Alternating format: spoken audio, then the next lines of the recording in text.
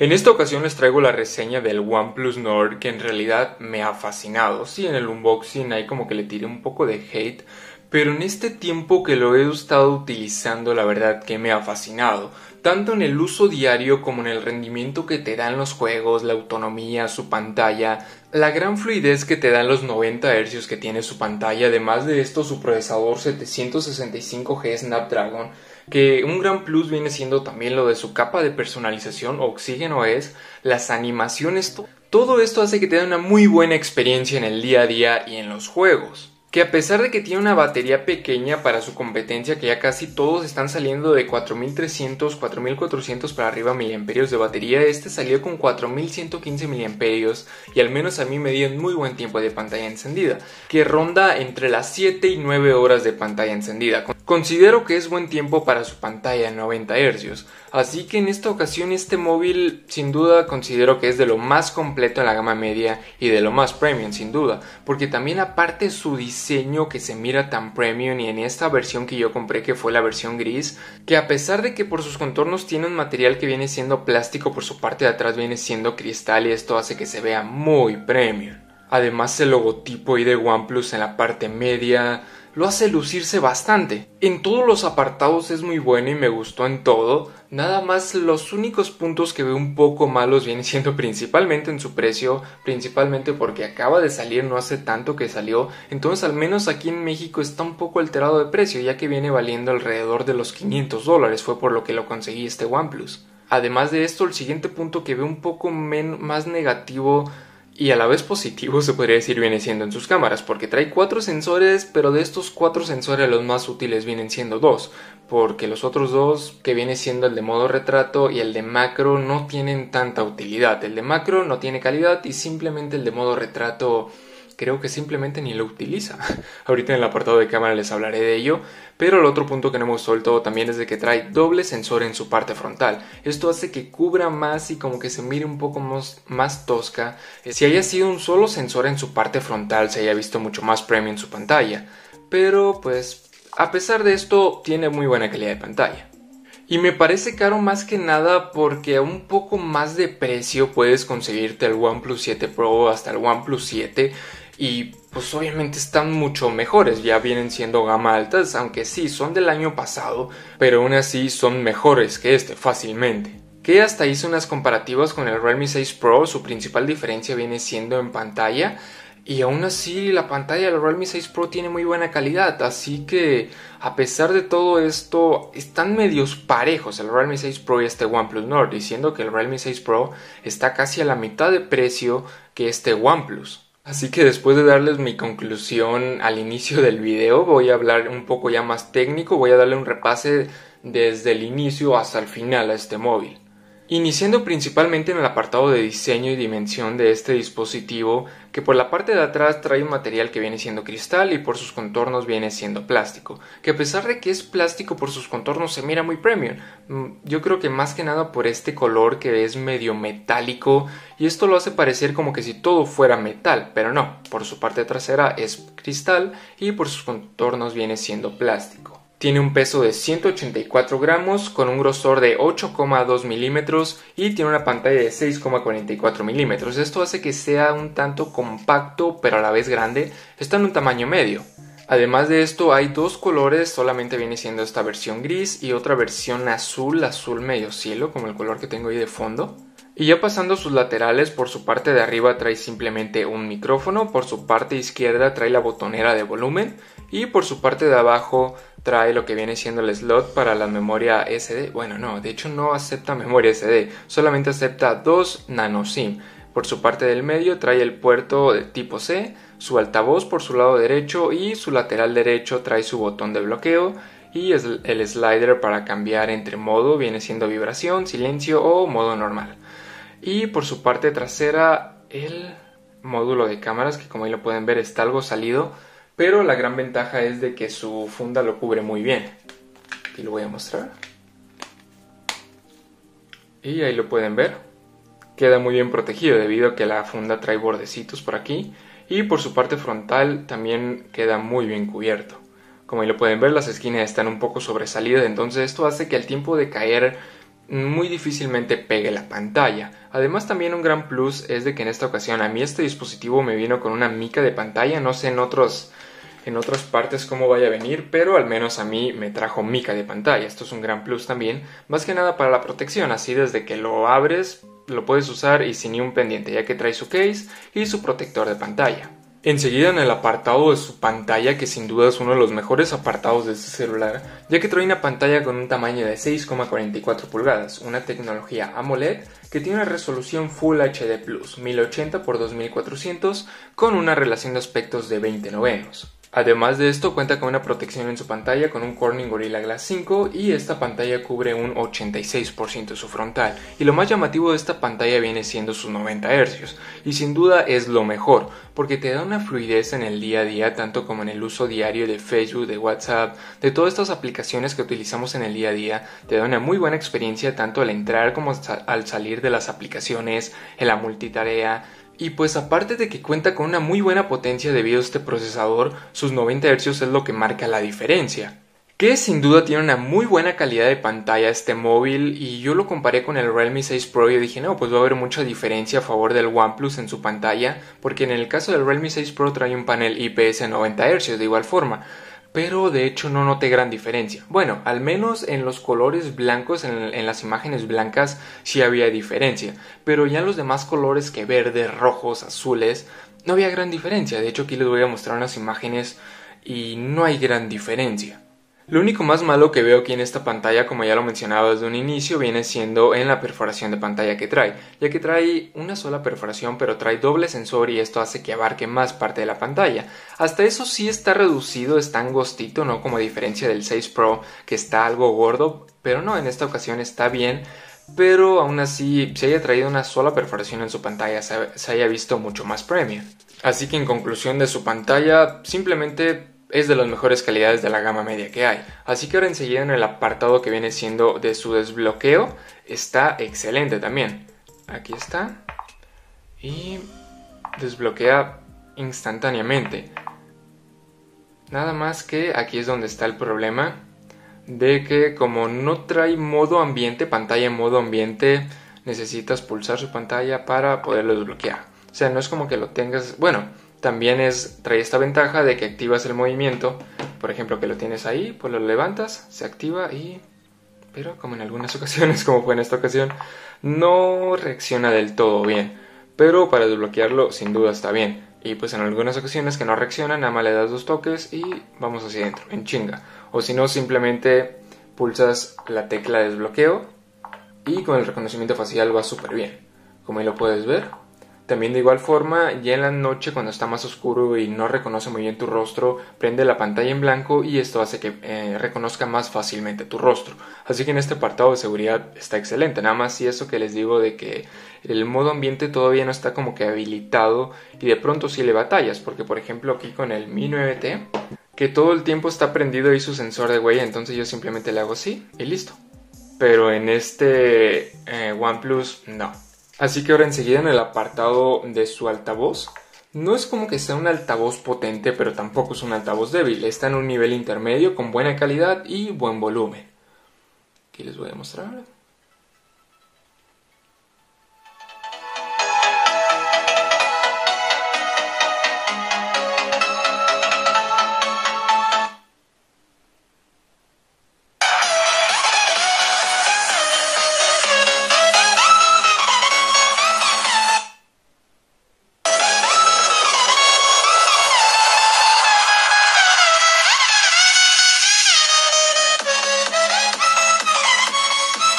Tiene buena potencia y buena calidad, como ahí lo pudieron notar, tiene una muy buena potencia.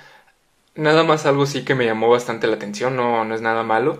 Simplemente es de que por lo regular, pues los volúmenes de los celulares siempre traen como 15 o 10 niveles y en esta ocasión trae 30 niveles, o sea, 30 pulsaciones para llegar hasta el nivel máximo. Ahí lo pueden ver. O sea, Les digo, no es nada malo, pero simplemente me llamó la atención de que de pronto pues tú le das, no sé, 5 y ya sabes más o menos lo que va a bajar y en esta ocasión como que me saca un poco de onda. Pero simplemente es algo que quería mencionar, que ahora enseguida uno de los puntos también muy buenos viene siendo en el apartado de su hardware, debido a que viene acompañado con el Qualcomm Snapdragon 765G. Esto hace que también tenga disponibilidad a la red 5G, es uno de los mejores apartados también de este OnePlus pero al menos en algunos países como viene siendo en México esta red todavía no está habilitada, así que pues para algunos nos dará igual. Que este procesador viene acompañado con la Qualcomm Adreno 620. Además trae una memoria RAM DDR4X y una memoria de escritura UFS 2.1, que toda esta configuración hace que te dé un puntaje alrededor de 320.000 y 330.000 puntos en Antutu que sin duda, aparte del día a día que me dio un rendimiento excelente en los juegos, me dio un rendimiento como que si fuera un gama media, principalmente en Fortnite que me permitía una calidad hasta épica, cosa de que solamente los gama alta lo permiten, esto es más que nada porque está bien optimizado el móvil para este juego y además te permitía 45 FPS a calidad alta. Y no solo esto, en los demás juegos como tal viene siendo en Call of Duty, te permite una calidad que solamente los gama alta te permiten. Aquí les dejaré la prueba de rendimiento para que sepan más a detalle de esto y además también de que no sufrí de calentamiento con este móvil. Les digo, aquí en la prueba de rendimiento muestro todo esto, lo del calentamiento, lo de la batería y también un apartado que me llamó la atención es de que cuando se calienta mucho no te permite prender el flash. Pero además de todo esto, su buen rendimiento también se debe a su software, debido a que trae Android 10 acompañada con la capa de personalización de OnePlus que viene siendo Oxygen OS 10. Aquí está. Procesador 765, almacenamiento 8 GB de RAM, 128, cabe destacar también bastante eso, la versión que yo tengo en esta ocasión. Y versión Android 10 con... Oh, chinga, aquí no dice la versión de Oxígeno es. Pero bueno, solamente quiero destacar de que pues, su capa de personalización viene siendo Oxígeno es con eh, Android 10. Pero en realidad me pareció una de las mejores capas sin duda. Debido a que es una mezcla de Android puro a una mezcla de una buena personalización muy bien avanzada. Porque al menos a mí no me gusta del todo el Android puro, pero en esta ocasión me fascinó, güey. Te permite muchas personalizaciones tal como viene siendo aquí en la barra puedes quitar todos los, los iconos totalmente y tanto como configurar su forma que redonda, cuadrada. Yo sé que otros dispositivos también te lo permiten, pero aquí en barra de estados donde les digo que puedes quitar lo de la pantalla, puedes quitar eso, no sé, puedes hasta quitar la hora, güey. O sea, puedes, todo esto lo puedes quitar, puedes poner, puedes quitar lo del wifi. Entonces, está bastante personalizable este móvil.